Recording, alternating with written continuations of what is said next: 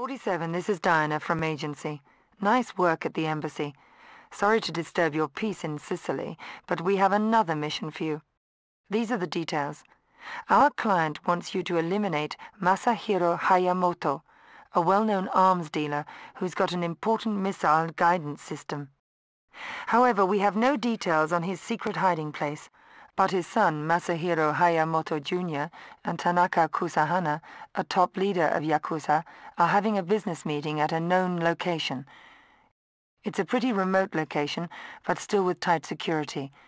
Your objective is to plant an electronic tracking device in Hayamoto Jr., then eliminate him so his corpse will be brought to Hayamoto Sr. Check the map, and watch out for the many Yojimbos guarding the meeting place.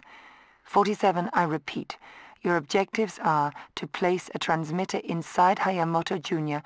and then eliminate Hayamoto Jr.